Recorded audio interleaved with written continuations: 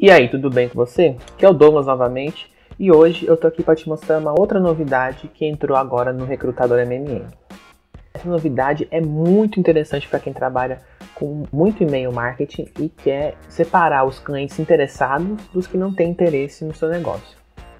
O que é isso? É um filtro de e-mail. Agora, nas suas campanhas de e-mail, você pode filtrar para um e-mail ser enviado só para quem já visualizou os seus e-mails anteriores, para quem ainda não visualizou, para quem clicou no link do seu e-mail, etc. Então eu vou te mostrar aqui como funciona. Aqui nós já temos as campanhas prontas, né? Deixa eu filtrar aqui por um site para ficar mais fácil. Por exemplo, aqui eu vou nesse botãozinho azul para editar essa campanha de e-mail. Você vê que ela já está configurada, né? Você não precisa mexer em nada aqui na, numa campanha existente, não vai precisar mexer em nada até aqui, ó. Agora tem o passo 5, que é o filtro inteligente, e é nem que a gente vai. Então eu vou continuar avançando aqui. Né? Aqui eu escolho o site que eu quero, para quais assinantes de qual site que eu vou enviar. O autoresponder, né? No entanto, o autoresponder, se escolher essa primeira opção, ele não vai ter o filtro inteligente no final dela. Por quê? Essa opção aqui, ela só envia quando o cliente se inscreve na sua página. As outras opções você pode é, ir para a opção de, de, de, filtro. Tá vendo aqui? Ó, se eu selecionar a segunda, ele já tem aqui, ó, filtro inteligente. Eu vou selecionar essa opção aqui, ó, enviar agora para todos da lista.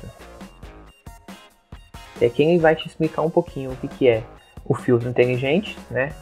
Filtro inteligente é a melhor forma que você pode enviar os e-mails para as pessoas certas. Com ele, você pode criar sequências de e-mails e enviar somente para as pessoas que seguem um determinado critério. Por exemplo, você está criando um funil e quer enviar um e-mail apenas para as pessoas que abriram o seu e-mail anterior, tá certo? Então aqui ele tem três opções: enviar para quem não é, padrão, né, não usar um filtro, enviar para quem já abriu ou clicou em um dos seus e-mails anteriores e enviar para quem ainda não abriu ou clicou.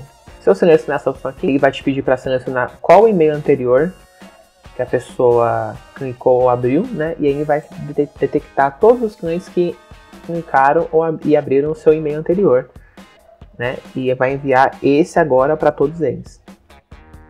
E aqui embaixo, mesma coisa, só que ele vai enviar para todos que receberam esse e-mail anterior, mas não abriram ele.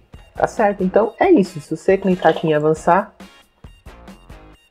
ele já vai aqui, ó, sucesso, campanha salva com sucesso. E aí, como eu selecionei a opção de enviar agora, ele já vai ter enviado esses e-mails para os clientes. Tá certo? Qualquer dúvida, deixa aqui nos comentários do YouTube, curte o vídeo, se inscreva no canal. Eu agradeço pela sua visualização e até o próximo vídeo.